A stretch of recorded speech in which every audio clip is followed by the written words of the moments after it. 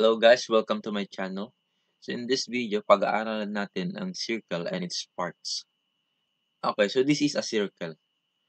So yung dot na nakikita nyo sa gitna niyan, yan yung tinatawag na center. So yung line or segment mula sa center patungo sa kahit saang part ng circle, yan yung tinatawag na radius. And then yung line o segment na mula sa part ng circle patungo sa another part ng circle, yan yung tinatawag na chord. And then yung kapag yung chord na yun, tumama sa center, yan na yung tinatawag na diameter.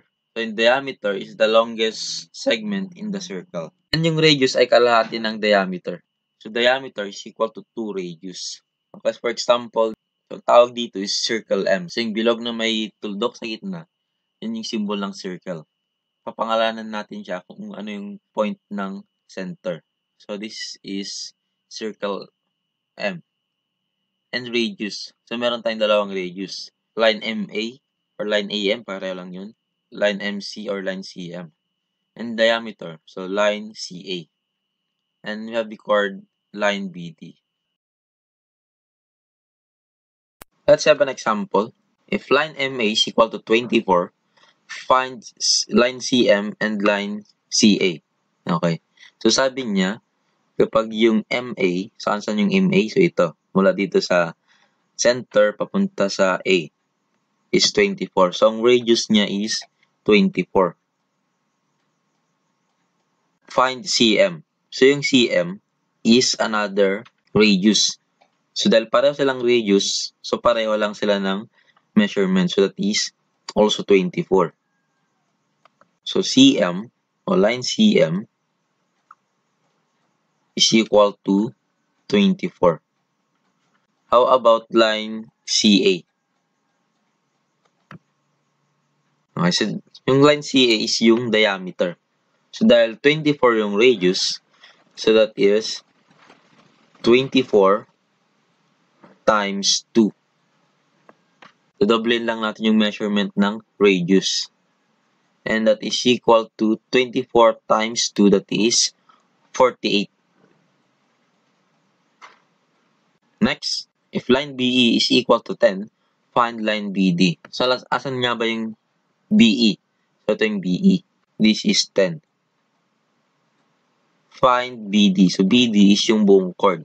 So, kung 10 ito, yung, so, kung 10 yung line BE, so, means yung line ED is also 10. Kasi nasa hinati siya ng diameter. So, it is equally divided. So, line BE or line BD is equal to 20. If line MA is equal to x plus 5 and line CA is equal to 3x plus 5, find line CM and line MA. Okay, so sabi, line MA is x plus 5. So, ang radius niya ay equal sa x plus 5. And line CA is equal to 3x plus 5. So, yung diameter that is 3x plus 5. Okay, so find CM and MA. Bago natin mahanap yung mga value ng line CM at line MA, hanapin muna natin yung value ng x. Okay, so that is 3x plus 5 and that is equal to twice ng radius which is x plus 5.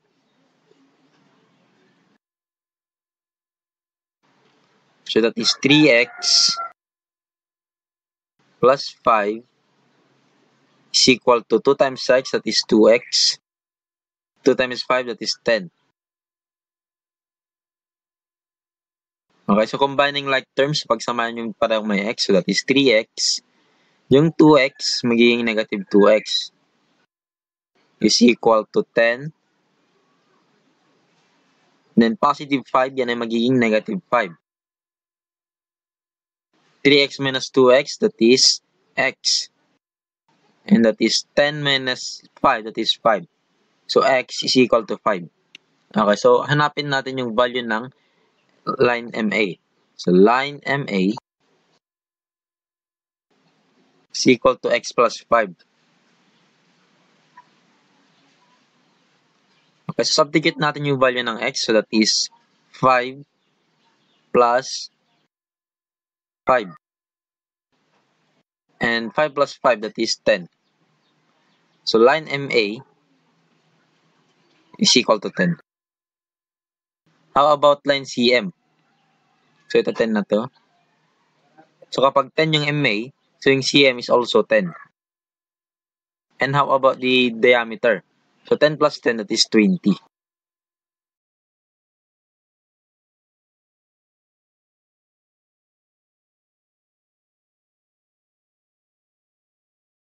Kapag may point sa loob ng circle, maliban sa center, yun ay tinatawag na interior.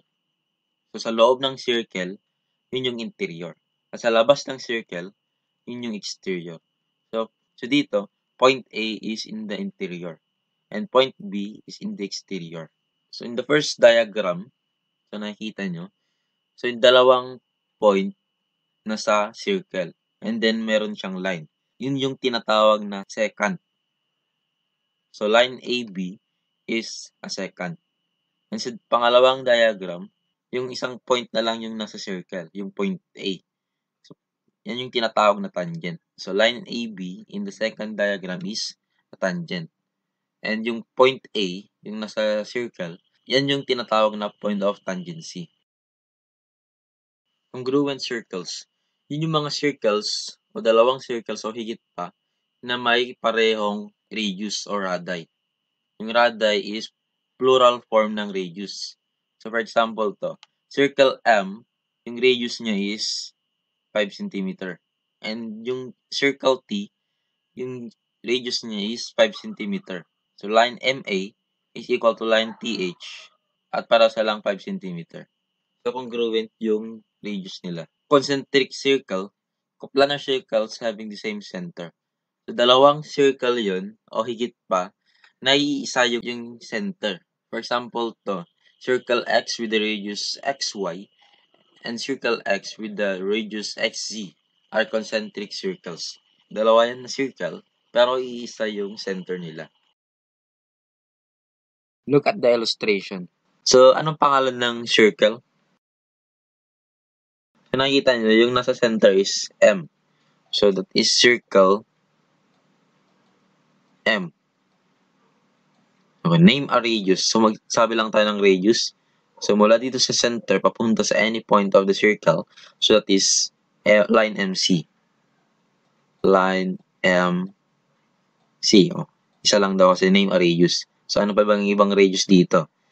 Line JM, line FM, line ME, line AM. Okay, name a diameter. So, magsabi tayo ng isang diameter. So, ito. Line AF. Basta chord na tumatama sa center. Ano pa yung isa? Line JE. Okay? And chord. So, yung line na hindi tumatama sa center. So, to line HD.